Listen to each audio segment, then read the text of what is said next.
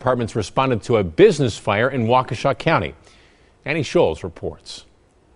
We're here at the scene of Thine Grading where crews are wrapping up what was a two alarm fire. Several agencies, about half a dozen showing up here, have this blaze under control. A lot of smoke, but we are told only one building was affected and that there were no injuries. They believe nobody was inside at the time. This building is in the middle of a neighborhood, but right now these homes are not being affected. Again, thankfully, nobody injured. On your side in Oconomowoc, Annie Scholes, today's TMJ4.